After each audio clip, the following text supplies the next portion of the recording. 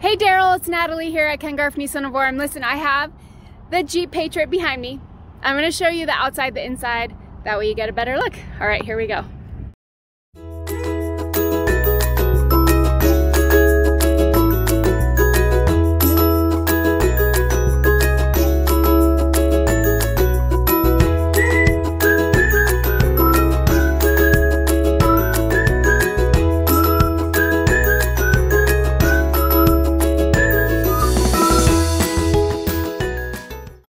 Just wanted to show you there's just a little ding right here. Um, if you can see the little dent, but that's about it. Got the roll up windows.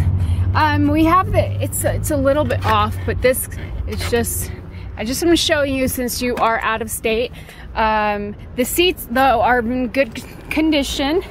It does move back pretty easily. The seats are great.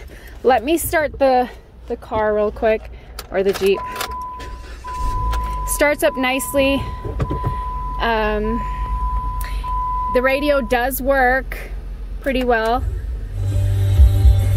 And then like I said, it doesn't have AC, however, it does have the heat and it does blow cold in the, you know, from whatever's outside.